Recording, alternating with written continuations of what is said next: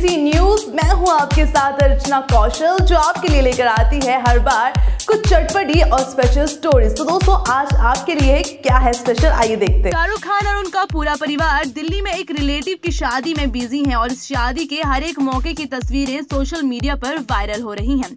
सुहाना खान भी यहाँ एक खूबसूरत पिस्ता ग्रीन लहंगे में दिख रही है, जिसमें उन्होंने डिज़ाइनर मोनिशा जयसिंह का लहंगा पहना हुआ है। आपको बता दें, हैवी वर्क से भरे इस लहंगे की कीमत एक या दो नहीं, बल्कि पूरे तीन लाख छह हज़ार तीन सौ पैंसठ रूपए है। सुहाने के इस लहंगे पर क्रिस्टल को सिल्क के धागे से जड़ा गया है। सिर्फ़ लहंगा ही नहीं, इसके दुपट्टे और चोली पर यही काम है। हरे रंग का ये डिज़ाइनर लहंगा इंडियन कल्चर 2017 के कलेक्शन में से एक है, जिसे मनीषा जयसिंह ने ओपेरा कलेक्शन नाम दिया है। इस लहंगे को और भी खूबसूरत बना रहा है।